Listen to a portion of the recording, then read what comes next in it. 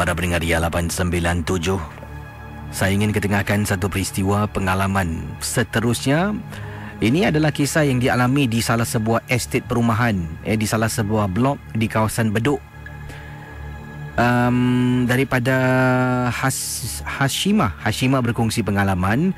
Katanya apa kabar kisi pendengar MJ12 Kalau selalunya para pendengar kita dengar eh, Anak-anak remaja buat benda-benda yang mungkin tak boleh dilakukan Ya. Kali ini Kak Hashima mengaku beliau telah pun melakukan sesuatu kerana curiga dan ingin tahu. Kata Kak Hashima, sebenarnya ada seorang teman telah pun memberi saya sesuatu. Dia kata kalau nak panggil makhluk cik pun datang kat rumah, harus gunakan dia panggil sikat kutu. Sikat kutu bukan satu tapi dua. Dua sikat kutu tu harus digeselkan antara satu sama lain akan menghasilkan satu bunyi macam kerikan. Krek krek krek. Uh, ini kata Kak Shima lah. Jadi para pendengar kemudian pada saat itu juga harus sambil meng, menggeselkan eh, sikat kutu kedua-dua sikat kutu tu harus menyebut bacaan berikut ini Wahai perempuan mati beranak, aku seru jelmalah di kau dan lain-lain saya tak nak bacakan.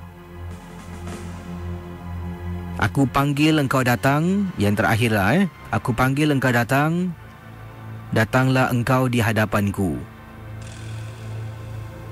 Kata Kak Hashima, saya buat apa yang teman saya cakap. Casey dekat tingkap Casey. Teman saya ada di rumah, datang bermalam di rumah saya. Ambil sikat tu dekat tingkat dapur. Tengok tak dapat benda, kawan dengan kakak ketawa. Ketawa tebak-bahak. Dia kata kakak kena tipu, dia tipu kakak. Padahal benda tu betul. Jadi kakak pun letaklah sikat tu atas meja. Menterah tu atas meja. Kami masuk bilik. Kemudian kami menonton TV.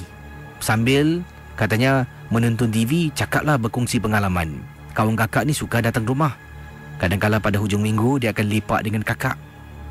Maklumlah Casey, katanya di sini suami kakak pun dah berpisah dengan kakak-kakak seorang ibu tunggal dan anak kakak pun dah dewasa besar panjang.